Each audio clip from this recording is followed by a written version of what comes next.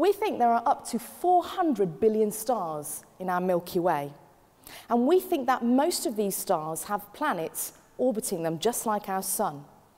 Now, it's quite difficult to see these planets or to take pictures of them because they're so far away.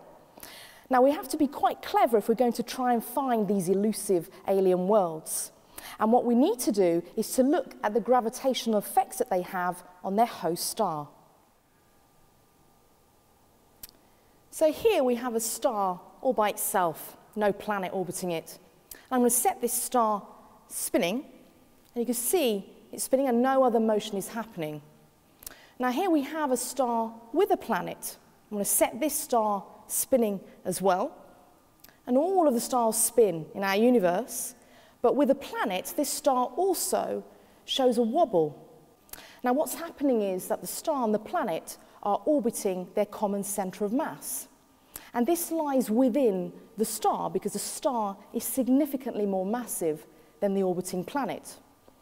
Now, this wobble is incredibly tiny. And for us to see the star and the planet dancing together, we need to use an effect called the Doppler effect. And we're going to explore this now using sound.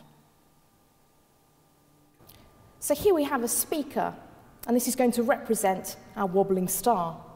Now I can set this speaker to a specific frequency or pitch, which you can hear, and this is its rest frequency. But we want to mimic the wobble of the star, so we're going to put it in a little bag, and we're going to set it rotating around. Now you should be able to hear a change in the pitch of the sound. As it moves towards you, you can hear the pitch increase, and as it moves away from you, the pitch is decreasing.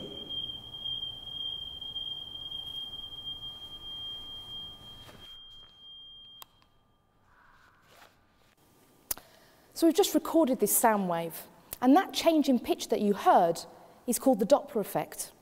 Now we can go and analyze this frequency shift and get some important information about the motion of the speaker. Okay, so here we have a spectrogram. This is a representation of the sound that we recorded earlier with the rotating speaker. Now, if we take a closer look at this graph, we have frequency on the y-axis, and running along the x-axis, we have time. Now we set the original frequency of the sound at 3200 hertz and if the speaker hadn't been moving at all then what we would see here is a horizontal line at 3200 hertz. However, what we do see is a sawtooth wave and this is a result of the motion of the speaker. We can see a shift in frequency. This is the Doppler effect. So the Doppler effect that we saw with the rotating speaker can also be applied to light. Now, if we think back to our star and planet, these two orbit their common centre of mass as a result of their mutual gravitational attraction. And so we will see the star wobble um, around the common centre of mass between the two.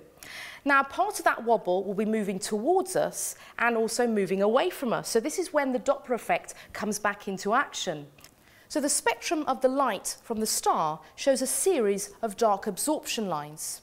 And these lines periodically shift from the high frequency blue end of the visual spectrum back to the lower frequency red end of the spectrum, just as we saw with our sound waves earlier.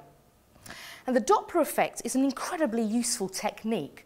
And this very clever technique will help us to continue to find these alien worlds circling other stars within our galaxy, the Milky Way.